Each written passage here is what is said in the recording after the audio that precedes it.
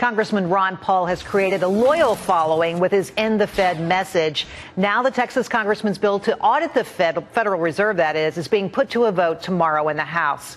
Earlier, in an exclusive interview, I asked the congressman why it's necessary to audit the Fed. Well, we have an obligation. They're very much involved in dealing with a lot of money. I think they're bigger and more important economically than the entire Congress because they dealt with $15 trillion during the uh, crisis a couple years ago, and they want to do it in secrecy. And uh, we have an obligation in Congress under the Constitution that we're in charge uh, of monetary policy, and we shouldn't uh, just defer to uh, a group of individuals who work in secrecy. Well, so, uh, Congressman, that, if I could, you know, I have great respect for you because you have studied this for a long time. You've written about it extensively. You called for an end to the Fed. But in frankness, they don't operate in secrecy. They issue a weekly balance sheet. Uh, the Federal Reserve chairman has press conference after press conference. The members of the board speak to the press.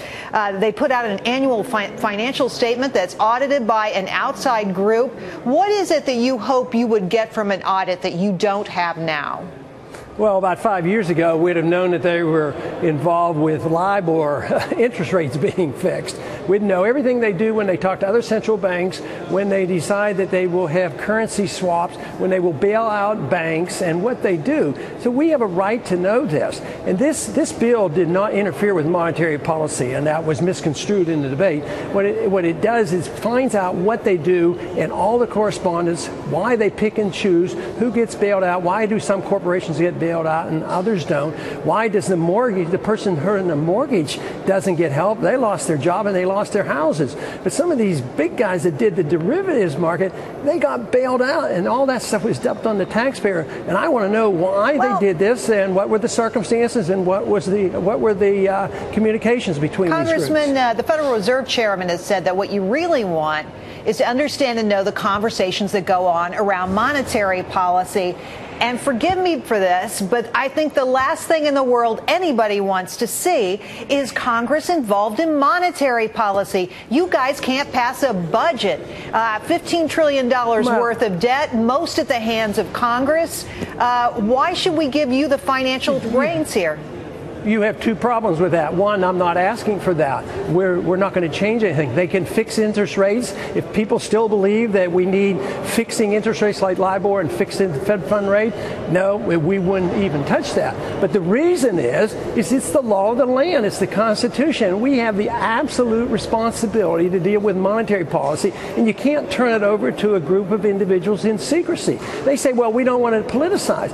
Well, what about bailing out a company and letting another another company fail. Is that political? They deal. Uh, they they collaborate with the Treasury Department. I mean, they're not bailing out companies right now. Well, do, how do you know? You don't know exactly what they do uh, on the discount window, and, and and we would know. We would have this, and they would always have to have the responsibility that uh, we will know what their communications are, and uh, yet they can still fix interest rates. They can still print money. They can do well, all these you things. Know, Congressman, I, I know a lot of people out there love your message, but they also feel like if you guys had the printing presses, those presses would never stop. They would that, go 24 no, wait, hours wait a, a day.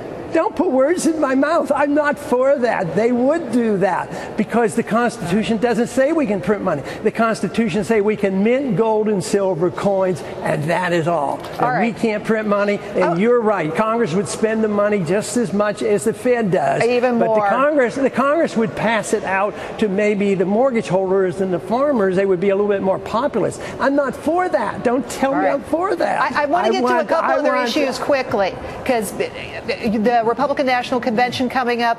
My understanding is that they have helped you secure a place to speak. Tell me what you make of that. Are you happy with uh, the role you're going to be playing here? Should you be doing more? Well, I don't know what I'm going to be doing yet. We know that we have this place, and they removed their restrictions. They had uh, restrictions placed on it, and uh, when they knew that we could use that and have a rally, they said that they would uh, remove their hold on that piece of property. Mm. So hmm. yes, I was I was pleased with that. And uh, you haven't endorsed Mitt Romney yet, will you? Well, I'll wait and see see what happens at the convention. Congressman, it's been a pleasure to talk to you. Thanks so much for the conversation, particularly today with your bill on the floor of the Congress. Are you predicting victory? Um, no, it's going to be close because it's under suspension. We won't vote till tomorrow. We have to get two thirds of the vote, and uh, so it's not guaranteed. We uh, will have to wait until after lunch tomorrow. Thank you so much. Appreciate your time.